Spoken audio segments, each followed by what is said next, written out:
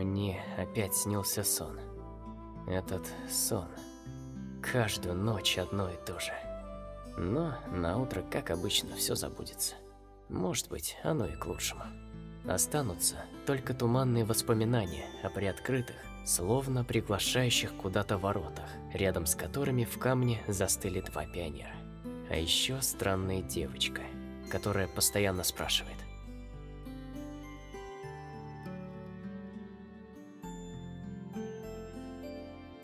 Ты пойдешь со мной? Пойду?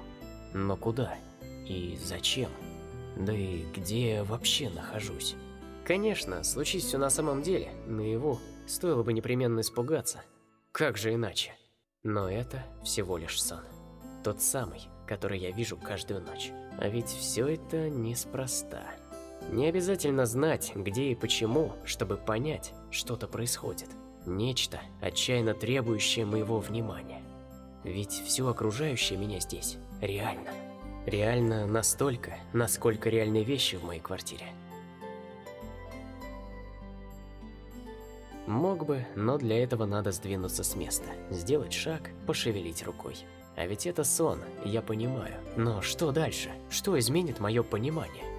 Ведь здесь, словно по ту сторону потрескавшегося экрана старого телевизора, который из последних сил борется с помехами и силится показать зрителям все, не упустив ни малейшей детали.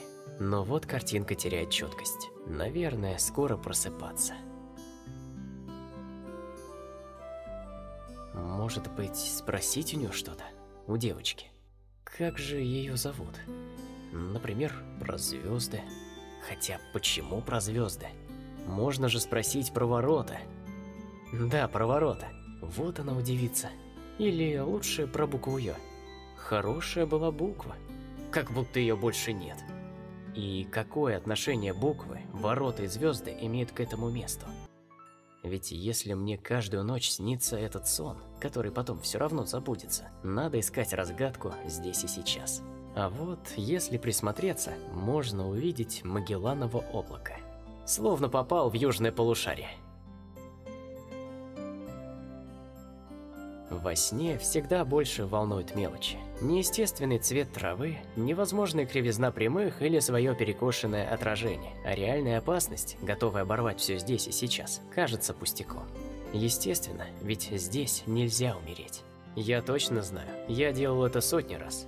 Но если нельзя умереть, нет смысла жить? Надо будет спросить у девочки, она местная, должна знать. Да, именно. Спросить, например, про сову Больно уж птица странная. А впрочем, неважно. Ты пойдешь со мной? И каждый раз надо отвечать. Иначе сон не закончится, а я не проснусь.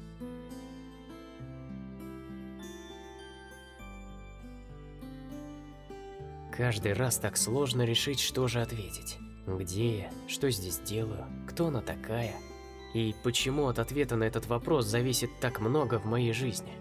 Или не зависит? Ведь это просто сон. Просто сон.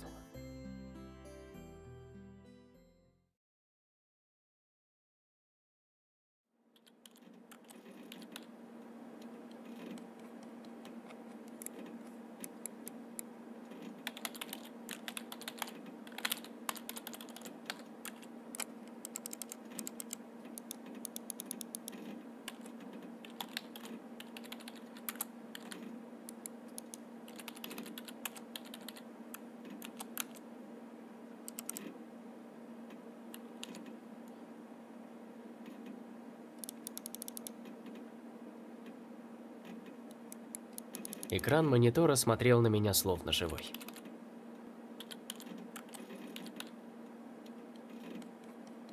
Иногда мне правда казалось, что он обладает сознанием, своими мыслями и желаниями, стремлениями, умеет чувствовать, любить и страдать. Словно в наших отношениях инструмент не он, неодушевленный кусок пластика и текстолита, а я – Наверное, в этом есть доля правды, ведь компьютер на 90% обеспечивает мое общение с внешним миром. Анонимные имиджборды, иногда какие-то чаты, редко Аська или Джабер, еще реже форумы.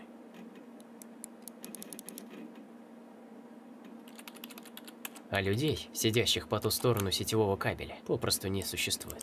Все они всего лишь плод его больной фантазии, ошибка в программном коде или баг ядра, зажившего собственной жизнью.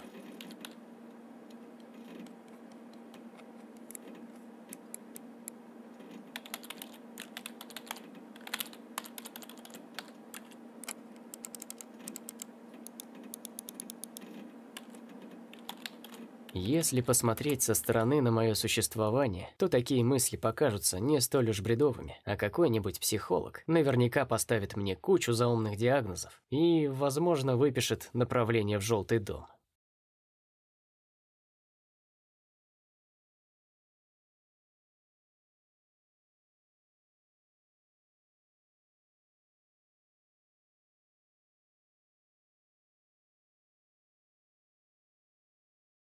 Маленькая квартирка без следов какого бы то ни было ремонта или даже подобия порядка. И вечно одинаковый вид из окна на серый, день и ночь, куда-то бегущий мегаполис – вот условия моей жизни.